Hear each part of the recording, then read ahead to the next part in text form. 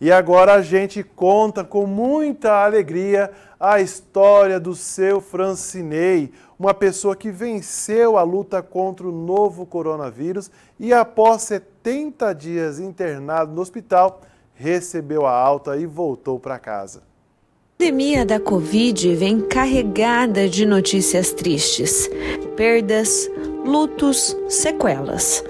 Mas hoje a gente vai contar para você a história emocionante do seu Francinei, uma mistura de superação, fé e, claro, de final feliz. Eu fui vítima da Covid, passei por várias, várias situações, fiquei. tive três. três três, três paradas cardíacas, tive duas, duas traqueostomia, passei por várias internações, para vários, vários setores, hoje estou aqui. Dois meses em coma, dois meses, né? Dois meses em coma. Nesse, nesse, nesse, nesse coma, eu, eu, eu tive um sonho paralelo. Eu tive um sonho paralelo, eu vivi uma, vivi uma vida paralela dentro daquele sonho. Até eu, eu até brinquei com ela, perguntei se tinha, que eu tinha ganhado um cachorro, que eu tinha ganhado isso, que tinha outro lugar.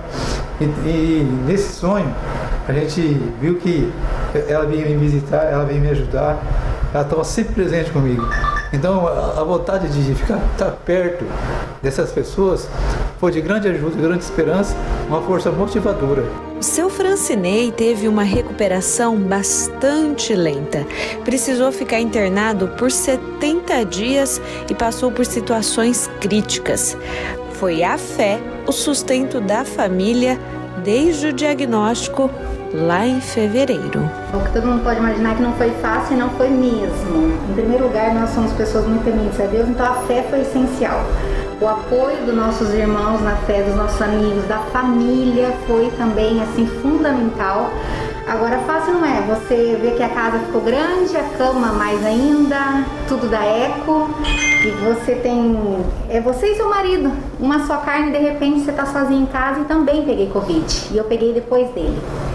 E a gente não saía, a gente não festava, a gente não recebia ninguém em casa. Até muitos da família às vezes se queixavam, né? Não é para tanto, mas a gente sempre quis preservar todo mundo.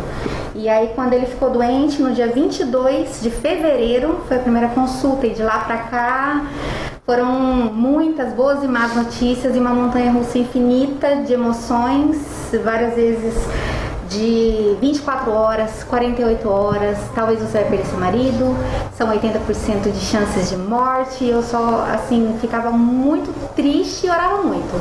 Mas sempre com esperança que ele ia sair dessa. Mas se a gente quiser viver e lutar para isso, e ele foi um guerreiro e é até hoje uma prova disso, e tudo na vida dele foi assim.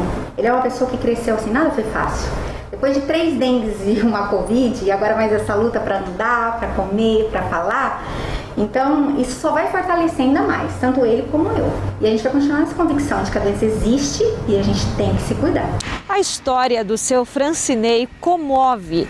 Ele hoje entrou duas vezes para as estatísticas, a de contaminados pelo novo coronavírus e também na lista dos recuperados da doença, ao lado de mais de 15 mil pessoas que se infectaram desde o início da pandemia aqui em Três Lagoas. Ele também comemora a vitória da vida nessa batalha, junto com outros 13 mil treslagoenses e celebra o milagre da vida.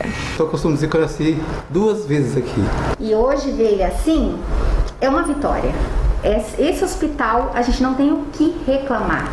Todos os profissionais, desde a senhorinha da limpeza, o pessoal da Copa, psicologia, o pessoal da alimentação, nutrição, tudo, tudo, médicos, enfermeiros, se tornaram uma família. A gente vai sentir falta assim das carinhas, não da situação, mas das carinhas que tomaram a gente como pessoas assim queridas e nunca tinham visto a gente e a gente também nunca tinha visto ninguém.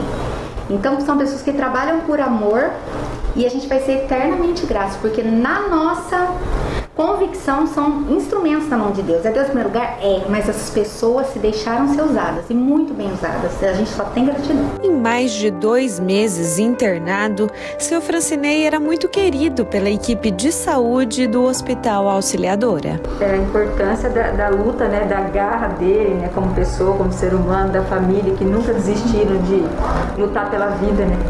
Isso é um mérito dele. A gente, a gente via nele a vontade de viver e continuar lutando. É, por, por, pior que ele tivesse passado, nos momentos piores dele, ele queria sair. Ele, ele tentava sempre com pensamento positivo, pensando no, na melhora e sair logo, se recuperar rápido. Recuperar rápido. Queria trabalhar já, logo deitado na cama, já queria voltar a trabalhar. Então isso é, é, um, é um mérito com certeza dele, de Deus, em primeiro lugar dele, né? Que sempre é, é, lutou muito pela recuperação do trabalho nosso em equipe, né? Seu Francinei foi considerado um milagre para toda a equipe e pôde agora voltar para a companhia da esposa e retornar para casa.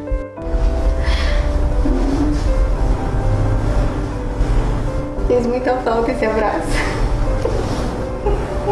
muita falta. 20 anos de casamento, mas esse abraço não tem igual. Obrigada, viu, gente?